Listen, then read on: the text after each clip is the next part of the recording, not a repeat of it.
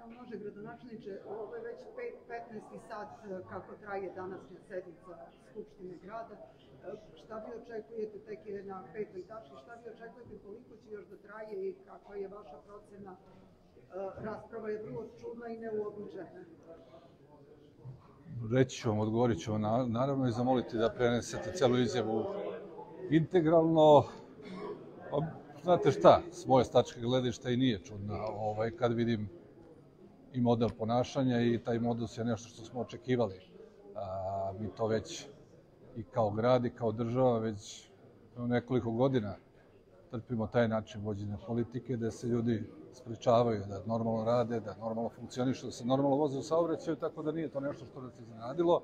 Naravno, ovaj, mi poštujemo ovaj dom i poštujemo sve odluke koje su potrebne da se donesu, ne bi li Kragujevac mogo i dalje da funkcioniše i to će naravno biti sprovedeno do kraja. Poštujemo i sva tuđe prava u ovom trenutku, ja lično mislim, mada ne želimo da podrivamo bilo kakvu nervozu više, da ćutenje za govornicom je klasičan vid zloupotrebe i narušavanja poslovnika, jer poslovnik predvađa da odbornik omogući pravo na reč i na raspravu.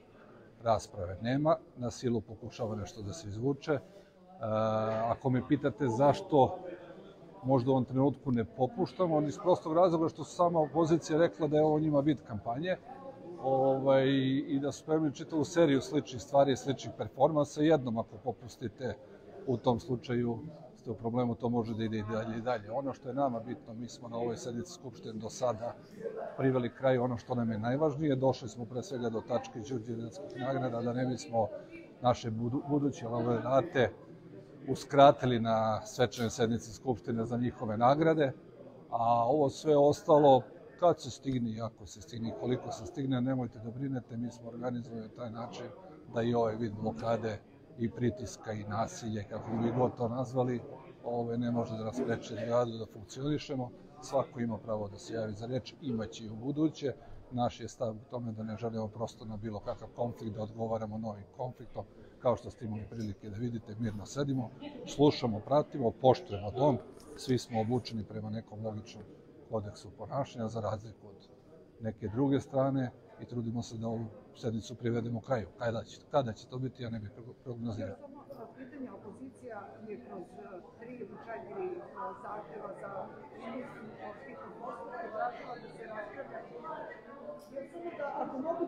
Biću ja glasniji, pa nema veze.